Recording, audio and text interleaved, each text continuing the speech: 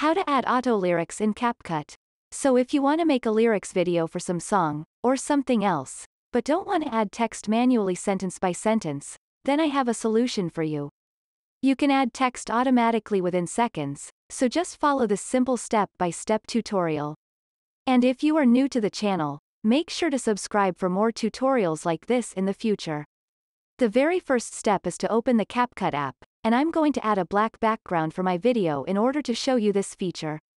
Now we want to add the song, or the audio file for our video. I'm going to extract the audio from my video. And I've muted the audio because of copyright reasons. And I just need to drag the black background over my audio so that they match. And now we are ready to add the lyrics to the song. Click on text right here. And then select Auto Lyrics here. And now a menu will pop up with a couple of options that you can play with. You can select a language for your lyrics. And right now, only a couple of languages are supported. But they will probably add more in the future. Click on Start.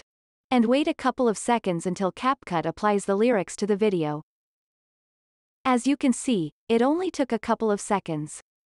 And if you see mistakes with your lyrics, you can select the part where your mistake is, and click on Style. And this will open the text editor. You can now edit mistakes if you have them, and you can also choose the font, color of your text, text effects, animations and much more. And they will automatically be applies on the rest of your lyrics. And that is how you add auto lyrics to your songs or videos in CapCut. Thank you so much for watching and see you in the next video.